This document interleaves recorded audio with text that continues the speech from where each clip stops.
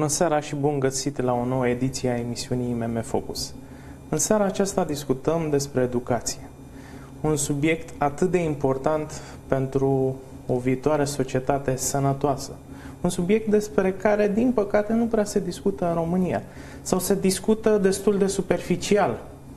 În România, PIB-ul, uh, procentul din PIB alocat învățământului și cercetării este cel mai mic din Uniunea Europeană. Din cauza că nu a fost și nu este o prioritate, sistemul de învățământ românesc a acumulat o serie întreagă de probleme și nu mai este performant. Nu mai naște valori în România. În seara aceasta am un invitat special, un om căruia îi pasă foarte mult despre educație și se implică foarte mult în schimbarea, în transformarea sistemului de educație din România.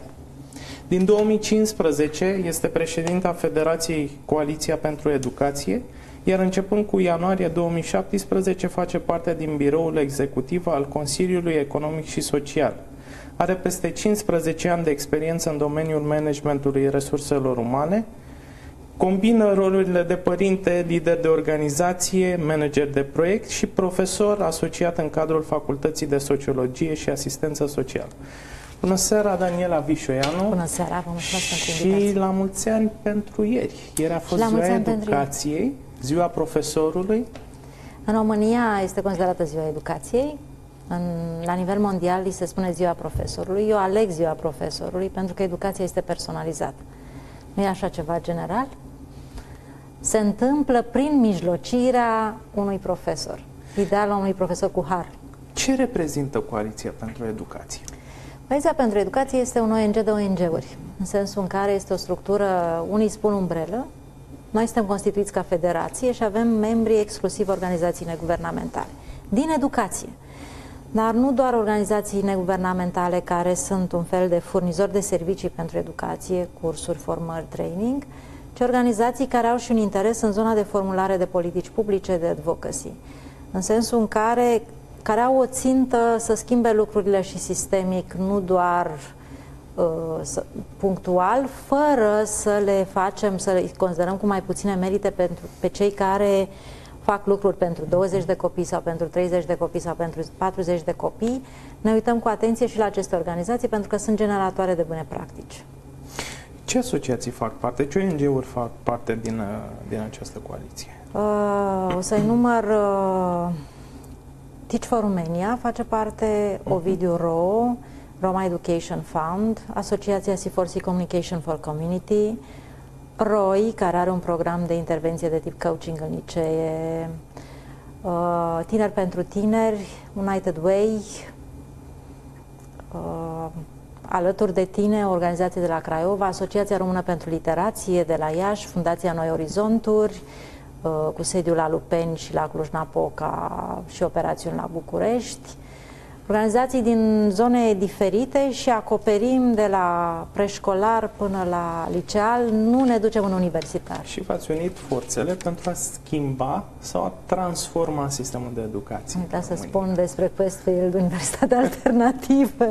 Da? Dar aș putea să, sper să nu fi uitat pe cineva. Am Traian Brumă, nu? Universitatea Alternativă. Traian Brumă, da, da, pentru că ești din mișcarea sindicală și probabil că ați interacționat. El vine pe da, filiera da, da. NUSR, am înțeles că tu USR. Da, da, da, eram înainte, dar parteneri de discuție. Da, da și uh, cumva pentru că ai rostit numele lui, putem să ne întoarcem la acest context. Când ei s-au au mhm. absolvit și au fondat Centrul de Resurse pentru Organizații Studențești, care ulterior s-a dus în Universitatea da. Alternativă, ei considerau că trebuie să faci ceva alternativ la sistem pentru ca sistemul să aibă o oglindă și să înceapă să se schimbe și sunt așa un fel de nucleu ca și comunitate cu restart în educație în care proiectul Coaliției pentru Educație a stat la dospit până s-a născut. Dacă ar fi să facem o scurtă diagnoză, o caracterizare a sistemului de educație din România și să lipim trei adjective, care ar fi acestea? Incremental. Hmm. Um, românesc. Și cam fricos. Fricos. Solomon Marcus spunea că în labirintul educației intrarea este la fel de misterioasă ca și ieșirea. Nu este deloc clar cu ce trebuie început, lucruri diferite trebuie făcute concomitent, nu succesiv. De unde începem? De la profesor. Aveți la și un profesor. tricou, Alex, am, am încredere tricou, în da. profesori. și ăsta este mesajul meu, a fost o alegere de mesaj care este nu doar a mea, este și a Coaliției pentru Educație. Când am zis că sistemul este cam fricos, m-am referit la toate cele trei frici pe care eu le văd sau le percep și la care ne uităm. Frica profesorului, frica părintelui și frica elevului. În oricare țară din lume, despre educație nu se scrie de bine, pentru că ceea ce este în presă este scandalul, este excepția, este atipicul.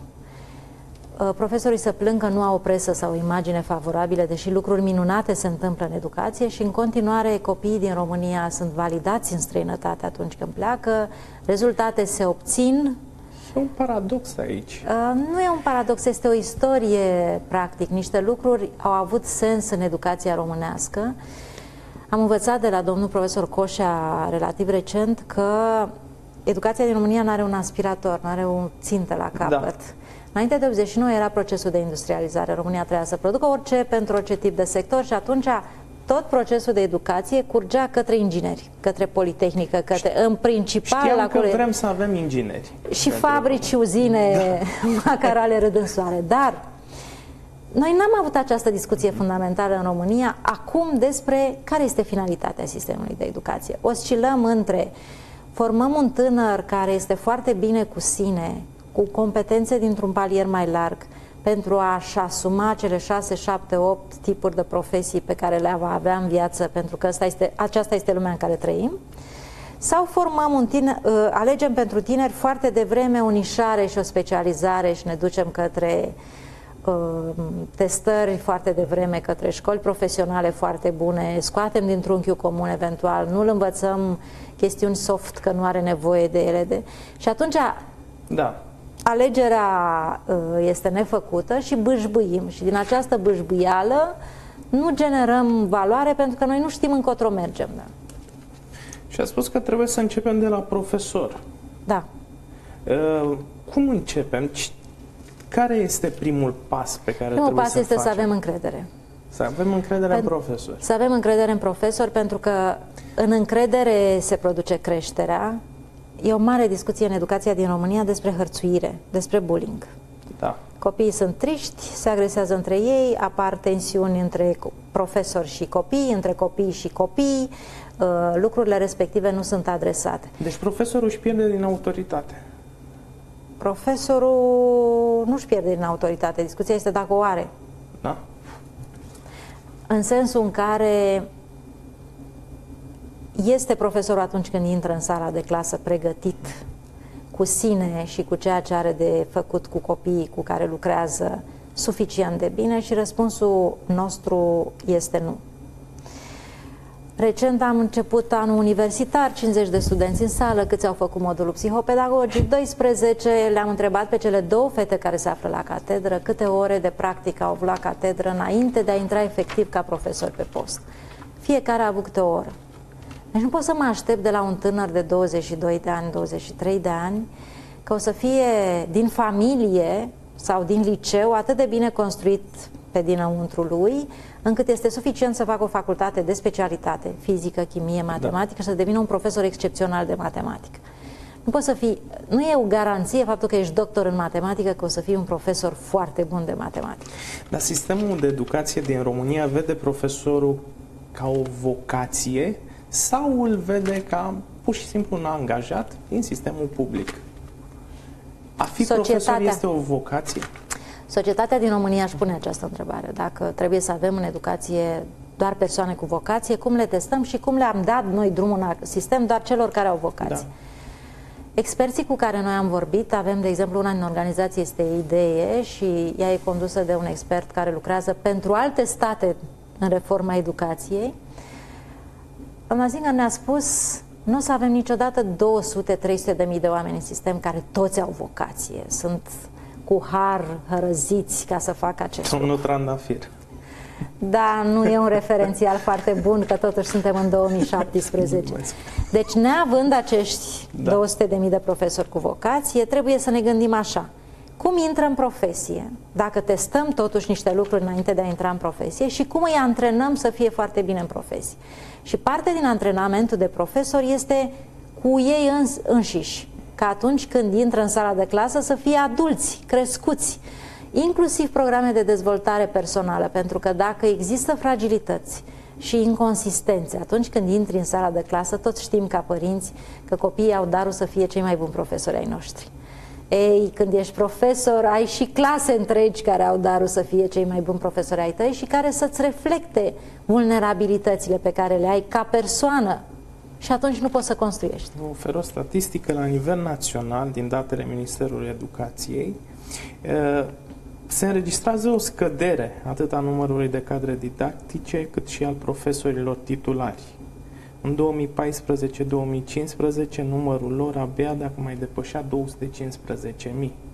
La capitolul profesor titulari, cea mai mare scădere a fost înregistrată în ciclul primar de la 95,4% la 91,6% și în cazul învățământului profesional de la 96% la 89,2%. Nu e despre scăderea numărului de profesori, este despre scăderea numărului de copii. Și asta este, de fapt, o provocare pe care educația din România nu adresează și statul român nu adresează. Pentru că în 67, la celebru decret, s-a născut un număr de copii. În 2015 s-a născut, s-au născut de trei ori mai puțini copii. Și atunci noi avem mai puțini copii în România, clar avem mai puține clase, mai, nevoie de mai puțini profesori. Deci n-aș lega, nu e o scădere uh, faptul că nu mai sunt 300 de mii de profesori, nu se datorează faptului că nu mai vrea nimeni să facă profesori sau nu e nevoie da. de ei, ci scăderii demografice. Și iarăși este o mare problemă, pentru că este cea mai mare de, uh, de școlarizare nu sunt corelate cu criteriul demografic, nu mai spun cu piața forței de muncă. Uh, este cea mai mare problemă da. a României. Faptul că sunt, se nasc puțini copii, ne permitem luxul să-i pierdem din școală pe parcurs, merg într-o școală în care, care nu face sens pentru ei, în mod deosebit pentru ciclul liceal, care nu-i ajută să crească, pierdem contactul cu matematica și cu științele foarte de devreme, foarte devreme da? deci ratăm niște lucruri fundamentale după pragul de 9 ani, apetența sau uh, plăcerea sau neplăcerea de a lucra, de a-ți construi mintea potrivit pentru matematică se întâmplă după pragul de 9 ani și atunci din puțini copii, pe unii pierdem pe școală, unii nu iau bacalaureatul, foarte puțini ajung în studiile superioare. Studiile superioare sunt multe din zone mai degrabă umaniste și atunci întrebarea fundamentală pe care ne-o punem este dacă cei care absorbă studiile superioare și care sunt cât să fie, unul din trei copii, da, unele cifre sunt 25%, unele sunt spre 30% din cohorta de vârstă, din generația lor și ei caută joburi. Și eu le spun, voi nu sunteți căutători de joburi, în sensul în care voi nu ar trebui să vă căutați joburi, voi trebuie să fiți creatori de creatori, joburi pentru sigur. restul de 70%. Da. Că de avem sistemele de valori răsturnate, pentru că așteptarea lor este să primească un job și dacă nu-l primesc, să spunem, într-o corporație sau la stat, ce au să facă? Au să ajungă să lucreze pentru unul dintre colegii lor care poate n-a terminat nici liceu și e foarte bine dacă poate are abilități antreprenoriale, școala nu i le-a cultivat sau n-a avut un context de învățare potrivit pentru a deveni antreprenor și se lasă la școală, de școală în clasa 11 sau 12 da, și devine antreprenor. E o mare problemă abandonul școlar, mai ales după clasele gimnaziale, am înțeles. Cum îi facem să... Ok, abandonează. Cum îi facem să se întoarcă din nou? Să vă spun o poveste ascultată, auzită ieri Uh, de la un profesor din mediul rural care a spus că anul trecut a avut două fete excepționale care au terminat clasa 8 și pe care a încercat să le ghideze către liceu și în discuțiile, inclusiv a vorbit cu părinții și cu familia lor și familia a spus sub nicio formă nu putem să susținem participarea fetelor la liceu. Deci nu se, nu se poate pune problema ca acești copii să meargă la liceu. S-a dus la primărie pentru ele s-a dus la primărie pentru ele să încerce să obțină bursă sau susținere financiară. Deci îi pierdem la gimnaziu din două motive. Unul este sărăcia.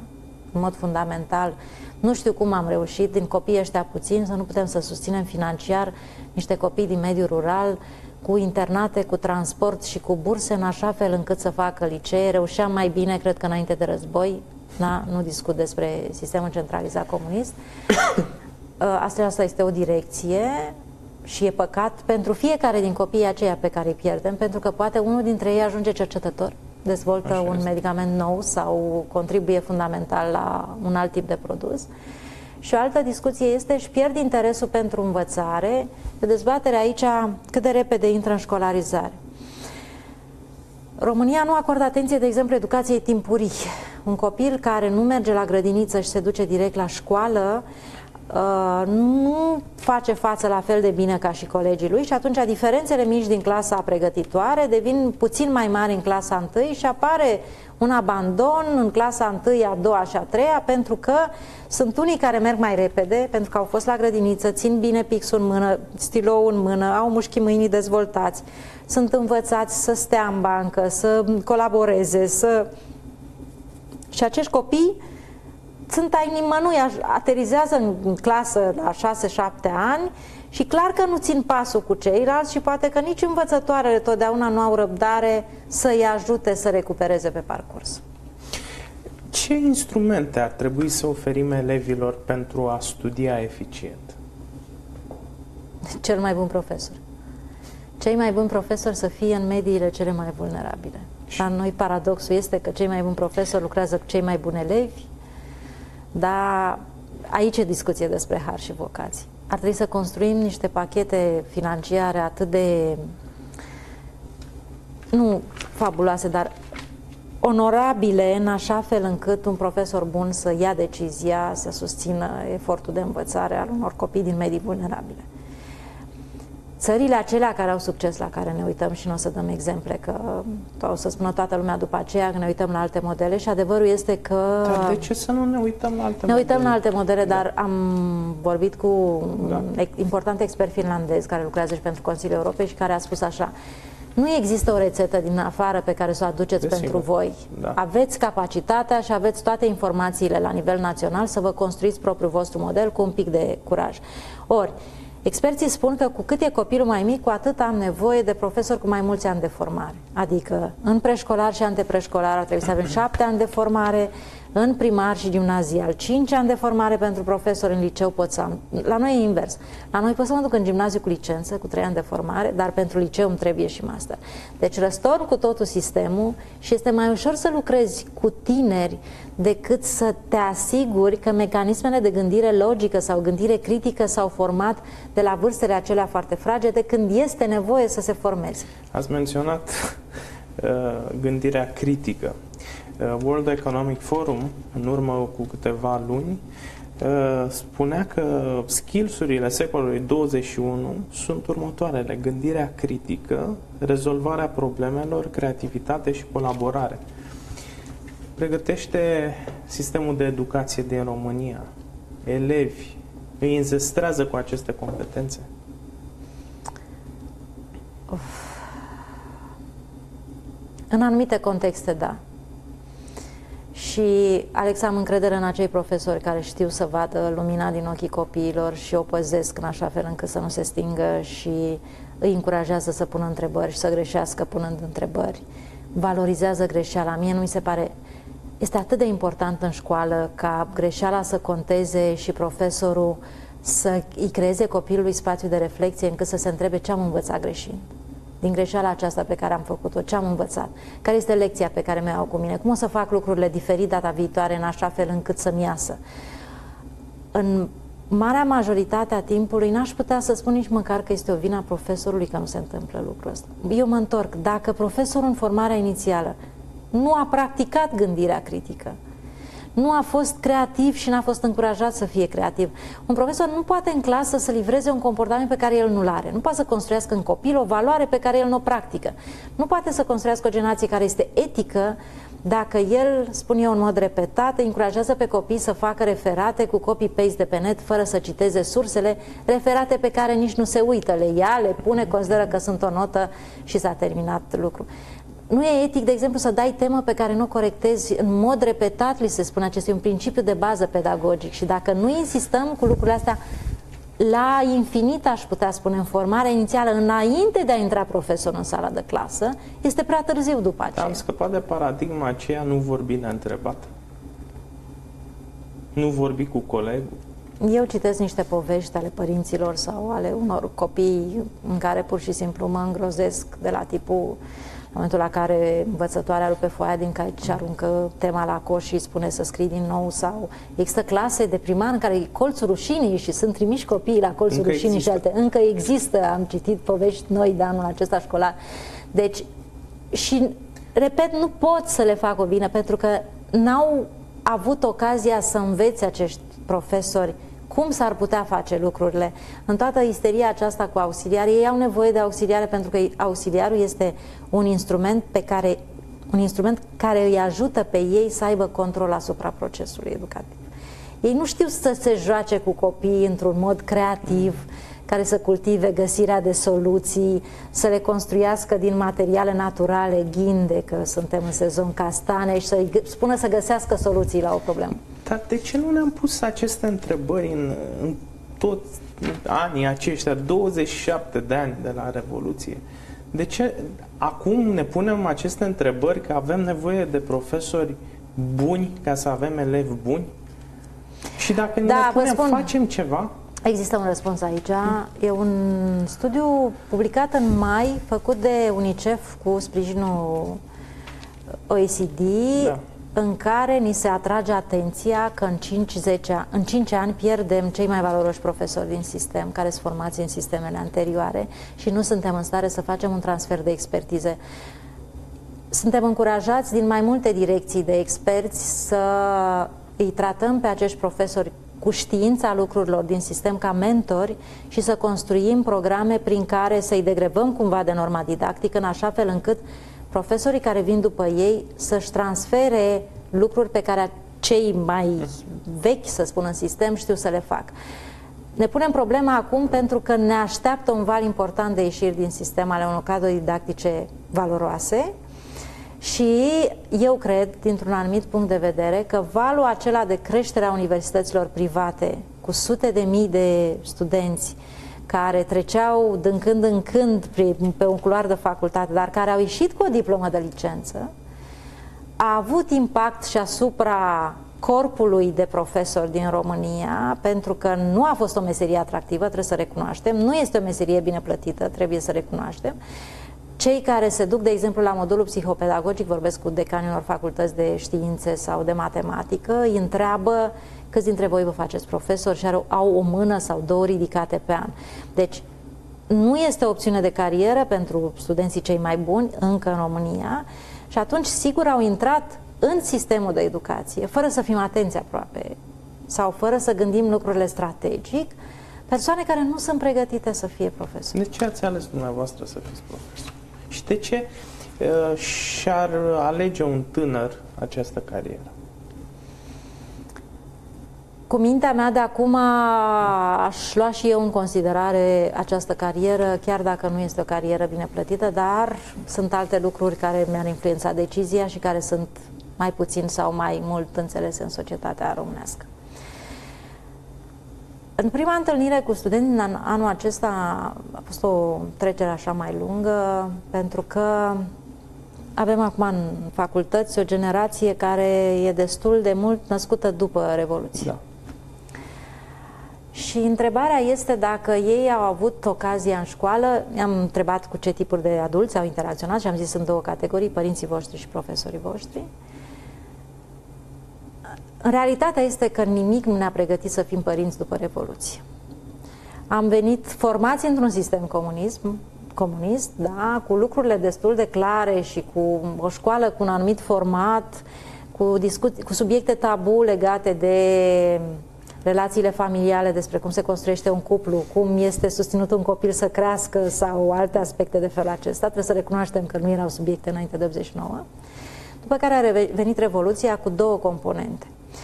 Unu, n-am știut să fim părinți și era foarte multă libertate și am intrat în frenezia cu consumul și cu alegerile mai puțin sau mai mult inspirate și mai ales cu această libertate oferită copiilor, poți să te faci ce vrei tu, da? Care e cu bune și cu mai puțin bune. Deci n-am știut să fim părinți și am trecut și prin uh, răsturnarea fabuloasă de sistem de valori complicată cu dificultățile economice. Să fim, trebuie să fim foarte onești și să spunem că până în 2000 în România s-a trăit foarte prost. Și atunci s-a întâmplat așa.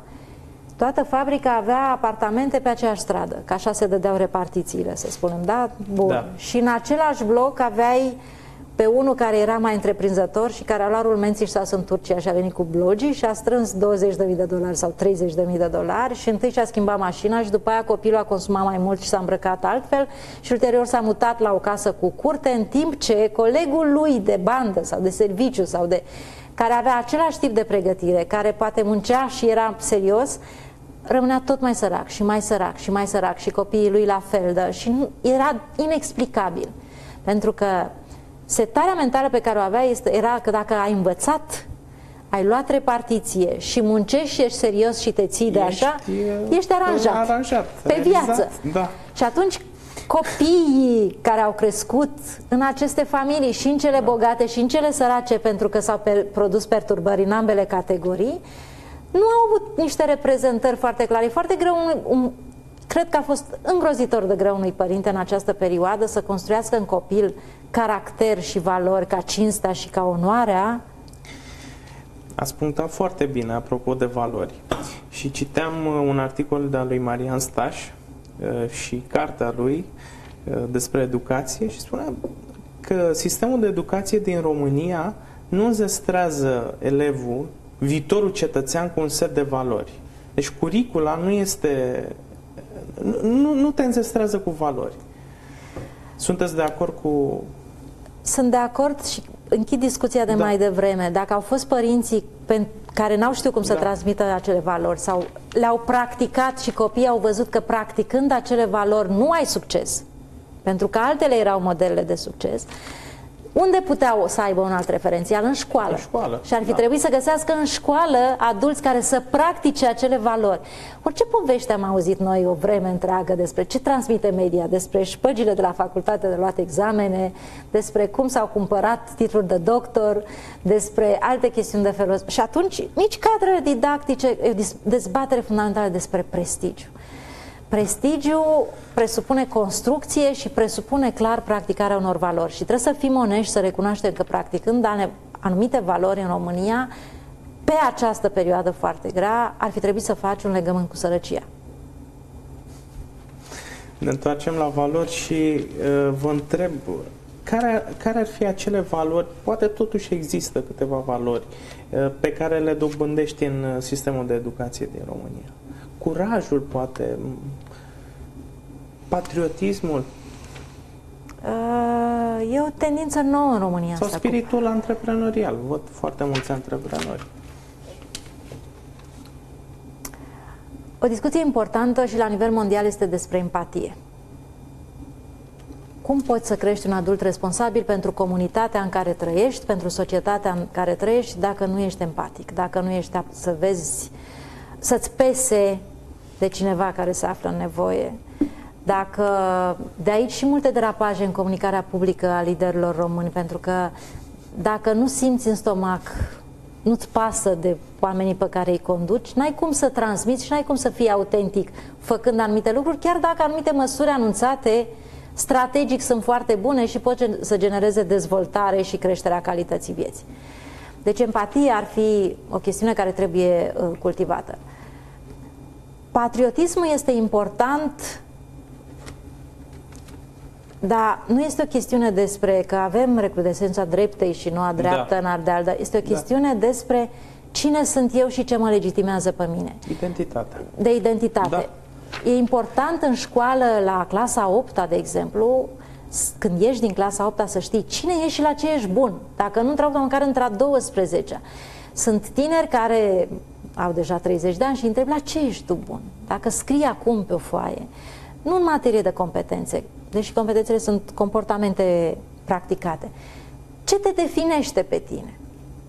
Să pui oamenii în legătură, să fii un număr pe care prâng prietenii tăi, să-ți ajuți prietenii la nevoie, să uh, ești cel mai bun cetățean de pe scara blocului tău sau uh, ești excepțional la limba chineză sau scrii foarte bine la calculator în metoda oarbă, ai cea mai mare viteză dintre toți colegii tăi, adică un tip de talent pe care îl practici și care te diferențiază de ceilalți și care îți definește identitatea.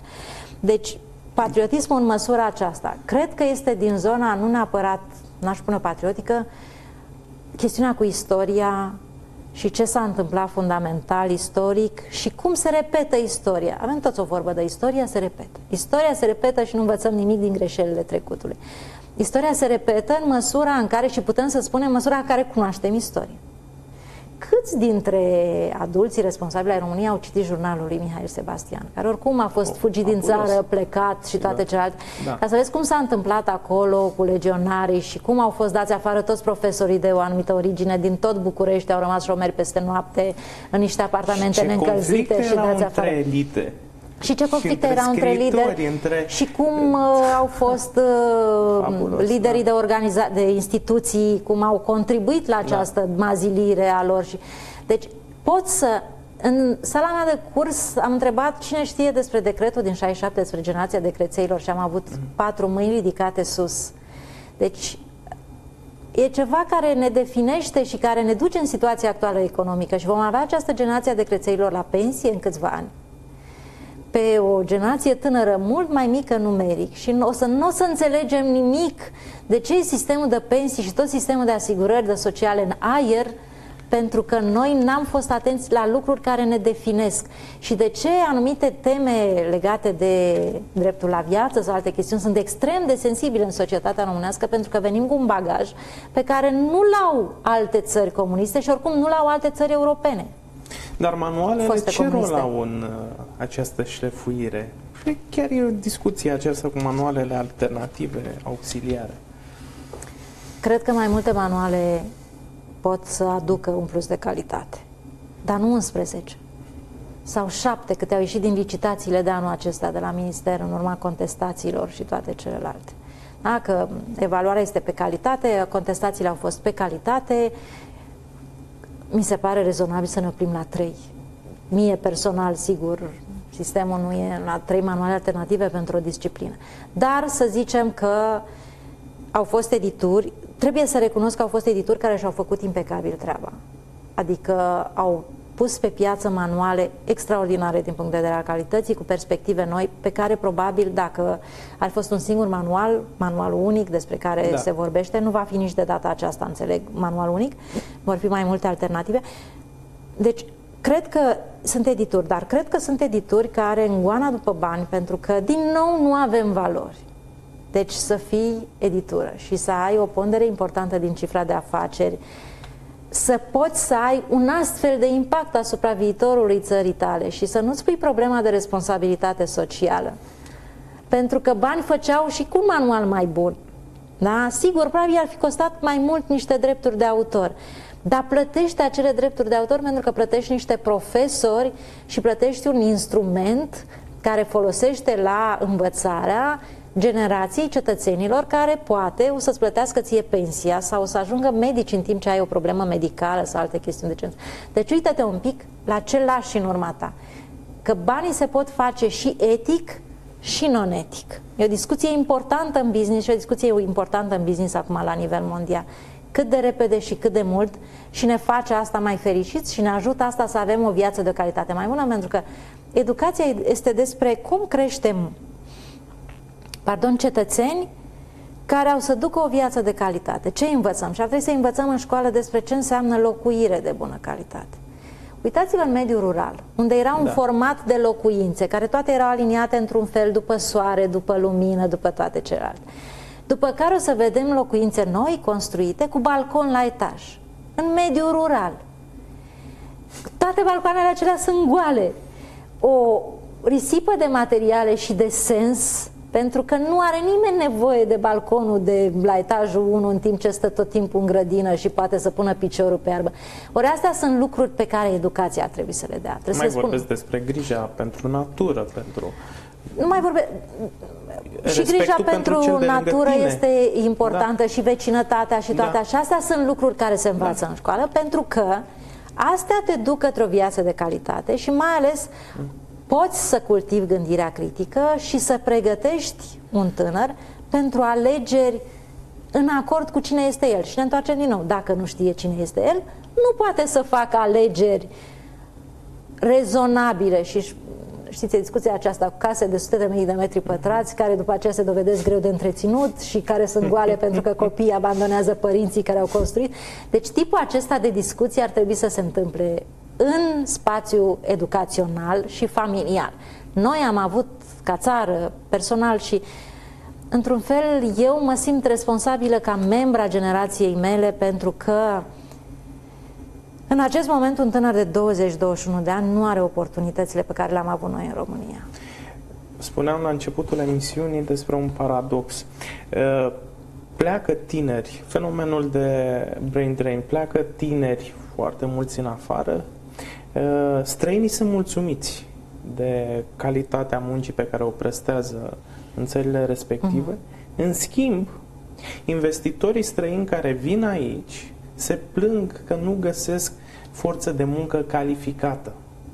Că tinerii din România nu au skills-urile necesare pentru a face performanță la, la locul de muncă. Despre acest paradox vorbeam. Ce se întâmplă? Pleacă cei foarte buni și rămân cei mai puțin buni în România? Eu am două variante de răspuns la întrebarea aceasta, mi s-a mai pus. Prima este mai glumeață. Îi întreb pe acești investitori unde ați fost în ultimii 15-20 de ani ca stakeholder în societatea românească da. și când ați făcut lobby pentru diverse măsuri în favoarea mediului de business, ați pus pe agenda și ceva în Educație. favoarea mediului educațional? Da.